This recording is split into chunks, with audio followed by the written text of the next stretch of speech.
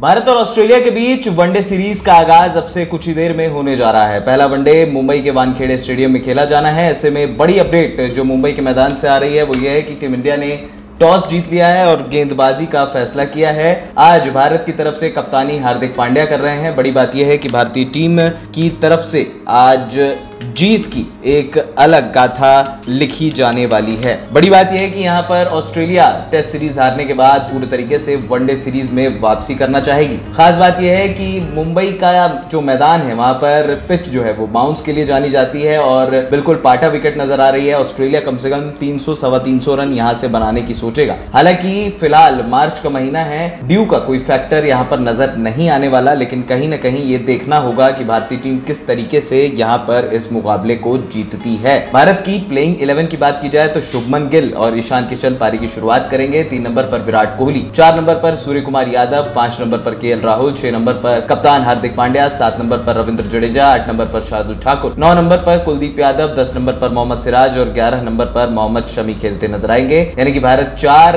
Pacers और दो spinners के साथ इस मैदान पर उतरी है। अब यह देखना दिलचस्प होगा कि भारतीय टीम किस तरीके से इस मुकाबले में जीत दर्ज करती है। वहीं ऑस्ट्रेलियाई टीम भी इस साल के वर्ल्ड कप के ईयर को कुछ आगे बढ़ाना चाहेगी। खास बात यह है कि किस तरीके से यहाँ पर खेलती है टीम इंडिया, ये देखना दिलचस्प होगा। एएनपी टाइम्स की रिपोर्ट।